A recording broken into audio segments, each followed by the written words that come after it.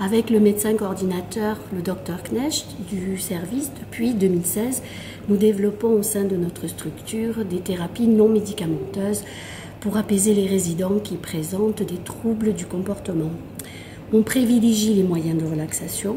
Parmi ces moyens, nous utilisons l'application des notions de réflexologie plantaire par notre art thérapeute et les massages à visée relaxante par nos assistantes de soins en gérontologie.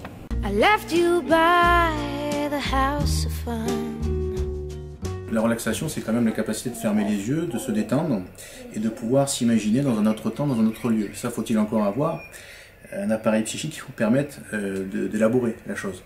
Quand ce n'est plus le cas, alors on va beaucoup plus se concentrer sur du multisensoriel, euh, tout ce qui va toucher le, perceptif, donc visuel, hein, auditif, tactile, gustatif. Et là, euh, le travail de l'art thérapeute, qui emploie différentes méthodes, s'avère très très efficace pour apaiser les personnes, leur permettre euh, de se concentrer sur le perceptif, d'occuper le vide mental. Et généralement, les résultats sont aussi très intéressants, soit à l'issue euh, de l'émergence d'un trouble, soit avant euh, des temps de journée où les troubles émergent, les temps qui ont été repérés par l'équipe soignante, soit même quand il n'y a pas de trouble, tout simplement un temps agréable pour apporter une stimulation entre guillemets adaptée à la personne qui a des troubles cognitifs avancés.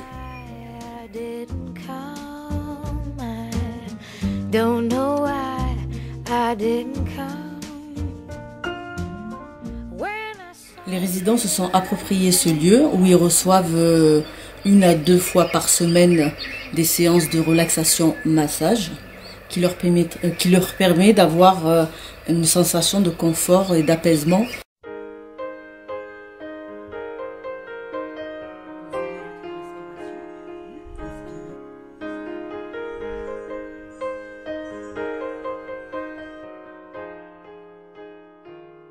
Le psychologue est là pour nous aider et guider dans cette approche.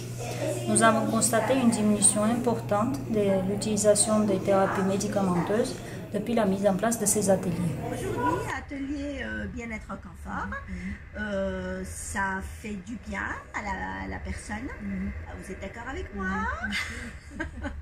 C'est s'il y a du, relationnel, une présence et un bien-être euh, tout simplement. Ça leur permet de de voir qu'on est là, qu'on s'occupe bien de, de, cette, cette, personne, d'autres personnes deux, trois fois par semaine.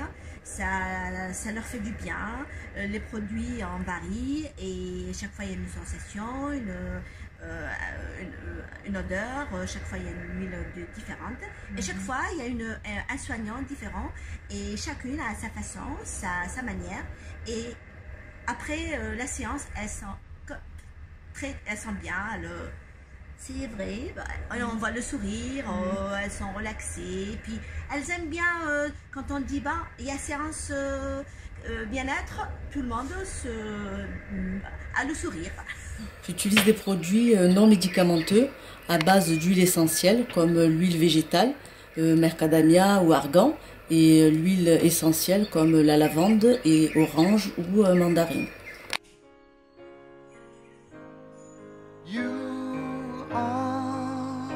Une